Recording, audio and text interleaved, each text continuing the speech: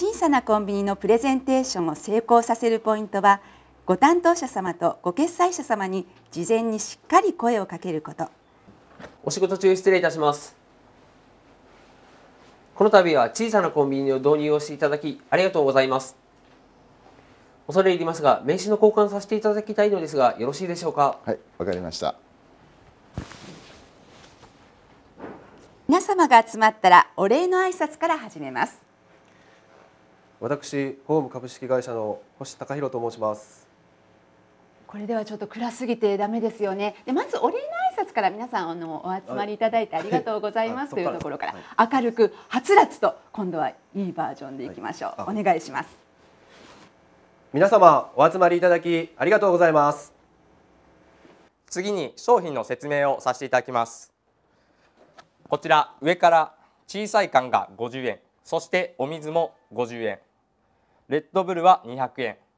緑茶ウーロン茶は100円。そしてジュースも100円。そして一番下段の商品も100円となっております。そしてこちらのお菓子もすべて100円となっております。空腹時や休憩時にぜひご活用していただければと思います。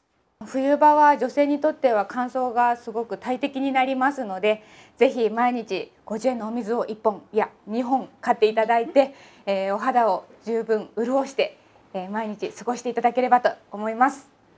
はい、このようにあのご利用される方にね合わせたあ商品の説明の仕方というのもとってもいいと思います。女性の多い職場でしたら今のような PR とっても効果的だと思います。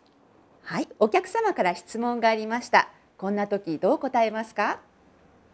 どんな商品を取り取り扱っていますか？はい、レギュラーメニューとですね毎月変わるスポットのメニューをご用意しておりましてあの当社ですねあのたくさんのメーカーさんと取引しておりますのでまたリクエストございましたらその都度ご用意させていただいておりますまたですねあのこちらのホームページに商品をアップしておりますのでご覧になっていただけたらと思います。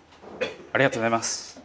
プレゼンが終了したら改めてご担当者様やご決済者様にお礼の挨拶や必要事項の連絡を行って退去してください。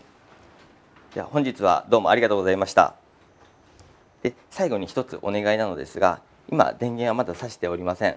あの移動の際に冷蔵庫内にあるガスや潤滑油が少し揺れますので、えー、このまますぐ電源を入れてしまうとコンプレッサーにすごい負担がかかってしまうのですみませんが、はい、価格を安くしてくれませんか？価格のこ 価格ですか。申し訳ございません。こちらの商品普通に出回ってるよりもかなりお安くなっていると思います。また考えていただきますと人件費ということもありまして実際に配達料も含めてのこのお値段となっておりますのでぜひともこのお値段でご納得いただければなと思いますわかりました、はい、ありがとうございます。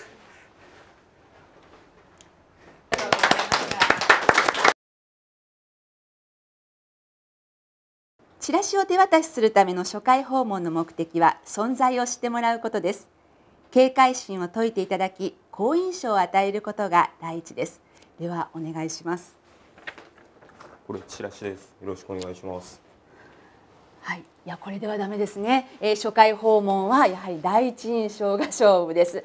まず身だしなみを整えてはい姿勢正します。一回肩ぐっと上げて後ろに回して下ろす。そうしっかり背筋伸ばします。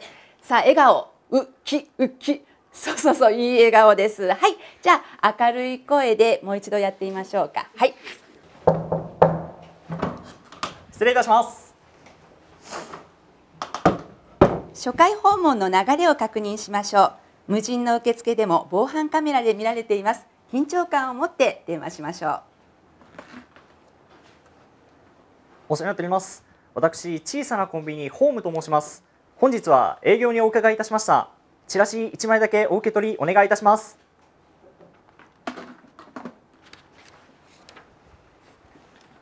こんにちは。お世話になっておりますませんこちらのチラシなんですけども1枚だけお受け取りお願いいたしますはいこういったサービスってご存知ではないですか？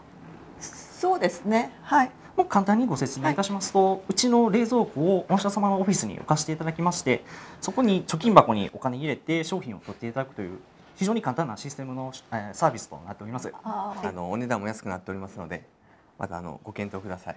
わかりました。はい、そんな感じですね。はい、あのーこのようにえ初回の訪問では明るく爽やかに名乗ってえ礼儀正しさを見せるということ、そしてチラシ1枚だけと受け取りを依頼する、そしてチラシを上の方に必ずお渡しするようにお願いしてください。